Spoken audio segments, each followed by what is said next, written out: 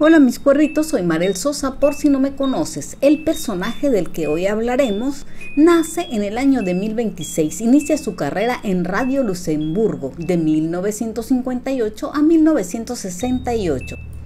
Presentó seis programas a la semana, aparte otro de los sábados que tenía con 6 millones de radio escuchas. Este señor era muy conocido pues ya había llegado a la televisión. Se le ve propio, normal, nada extraño en aspecto, nada que te indique que es anormal. Era el personaje de los anuncios de los servicios públicos, como ejemplo, cuando salgas a la calle ponte el cinturón de seguridad, cuando cruces la calle mira hacia ambos lados. Era el cuidador de los niños en la vialidad, etcétera, etcétera. Y así que le dieron su propio programa infantil en televisión.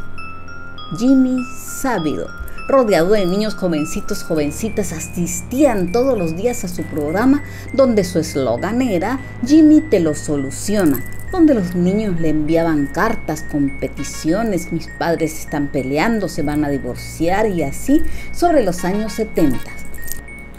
En una oportunidad lo entrevistan en un programa llamado La silla del psiquiatra de Anthony Clear lo comienza a entrevistar y se va dando cuenta que cuando le pregunta algo de su vida personal lo evade, no menciona nada, ni tiene relación o apego a las personas.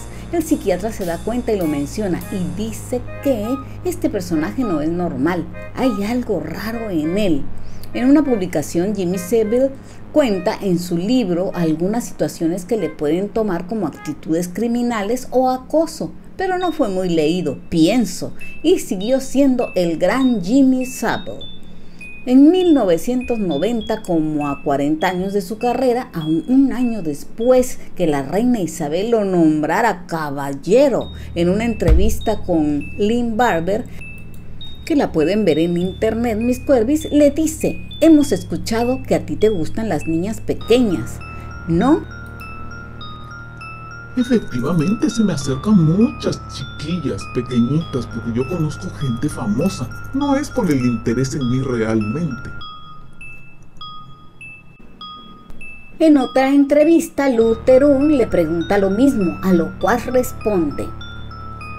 Nosotros vivimos en un mundo muy tonto. Yo como hombre soltero me cagan los niños. Esto confunde mucho a la prensa. Mi cercanía con ellos ¿Cómo pueden saber que soy un pedófilo o no?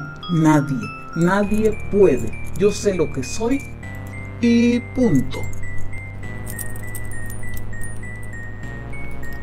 Esto lo dijo en el año 2000. En el 2007 fue investigado por la policía. Lo entrevistan. ¿Por qué? Porque varias mujeres toman la valentía de denunciarle. En los años 70, mientras este señor estaba haciendo sus proyectos de servicio público, como él era el hombre que salía en los anuncios y programas educativos, fue durante muchos años a estas escuelas promocionando su decir en televisión. Se dice, se cuenta que estas chicas, ahora ya convertidas en mujeres, que hubo un abuso sexual y violaciones por parte de este personaje. Y finalmente en el 2007 lo exponen y la poli empieza a indagar. Pero como todo lo que brilla creen que es oro, dicen que no hay evidencia para proceder contra este tipejo. Dijeron que ya había pasado muchos años de aquello. Aparte, es Sir, caballero nombrado por la reina. Observen bien esta foto. Jimmy Sable hacía voluntariados en hospitales. Ellas son enfermeras reales. Iba a los asilos psiquiátricos y se pasaba ofreciendo su servicio como voluntario para ayudar a las personas. Mm, qué buen hombre, altruista. Y la poli no encontró evidencias malas sobre él. En 2011 ya era bien sabido que este señor no andaba en buenos pasos. No obstante, la ministra Liz Truss tenía reuniones con él a tomar el té y lamentó su muerte.